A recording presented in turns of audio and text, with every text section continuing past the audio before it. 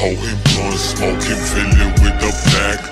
Kids lacking now my mama never packed lunch. Yo, hello, it's Rewy here, and in today's video I will be showing you guys how to make the light rays transition you guys saw in the beginning.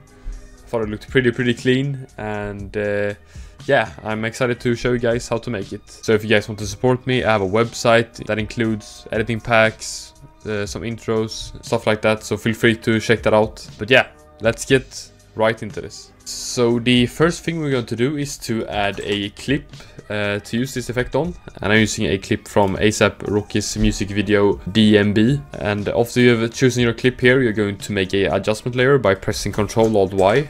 And here you're going to add CC Light Burst 2.5. I think the 2.5 might depend on which After Effects version you have. I have uh, After Effects 2023, but I still think the effect uh, should work the same. So we're going to set the ray length to 350 in the beginning and then we're going to press the clock here on intensity and ray length and we're going to change the position here by pressing this anchor point here and then I'm going to aim at his nose here it becomes centered to his face and I'm also going to change the burst to straight. And from there I'm going to and from there I'm going to go to 2 seconds set the marker and then set the ray length to 0 and the intensity to 0 as well.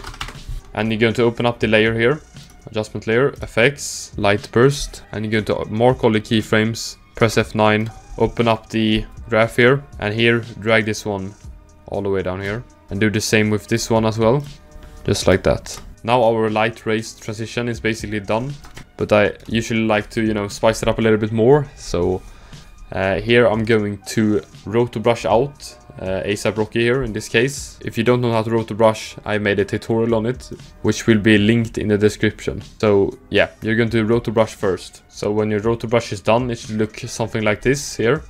And then you're going to duplicate the layer, Control D, and delete the roto brush effect on the one below. And then I'm going to add a overlay from my particle overlay pack. You can find it on my website if you're interested. I'm going to drag that one in, drag it down between the roto brushed layer and the background and then I'm going to drag a little bit forward so the overlay starts and then change the blending mode here to screen. You get something like this now. Looks very very clean. And one last thing I like to do is to make a CC, so Control Alt Y, and I'm going to use a CC for my upcoming CC pack. Looks something like this, pretty clean. So yeah, stay tuned for the drop of that pack. And yeah, then you reapply the light rays transition. So yeah, now you get something like this, which I think looks very very clean. Yeah if you guys enjoyed the tutorial please like and subscribe. If you have any new ideas on tutorials i can make please comment down below. Don't forget to check out my socials check out my website of course. Join my discord server and uh, yeah i will see you guys soon. Take care and have a nice day